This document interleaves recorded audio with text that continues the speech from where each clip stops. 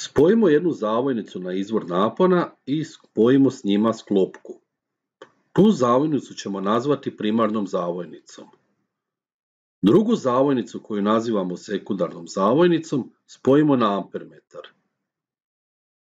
Uključivanjem i isključivanjem sklopke u primarnoj zavojnici dolazi do promjene struje u vremenu.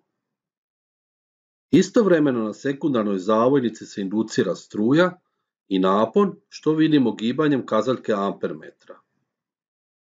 Možemo zaključiti da se struja u sekundarnoj zavojnici može inducirati promjenom struje u vremenu na primarnoj zavojnici, a tu pojavu nazivamo međuindukcija koju ćemo sada detaljnije objasniti.